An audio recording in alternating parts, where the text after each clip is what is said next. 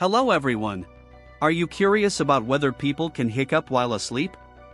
Let's find out. Hiccuping during sleep is indeed possible, although it's less common than during wakefulness. Hiccups are involuntary contractions of the diaphragm muscle followed by a sudden closure of the vocal cords.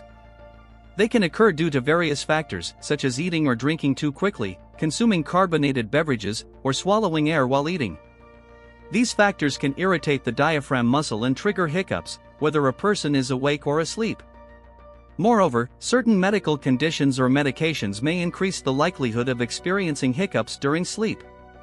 Conditions like gastroesophageal reflux disease, GERD, or neurological disorders, as well as medications that affect the central nervous system, can disrupt the normal regulation of the diaphragm muscle and contribute to sleep-related hiccups.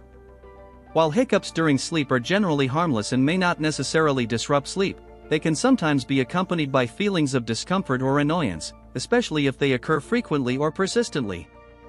However, sleep-related hiccups are usually transient and tend to resolve on their own without the need for medical intervention. Overall, while hiccups are more commonly experienced while awake, they can indeed occur during sleep due to various factors.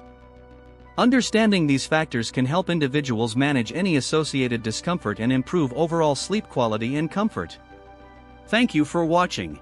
Please follow for more related videos and see you later. Goodbye.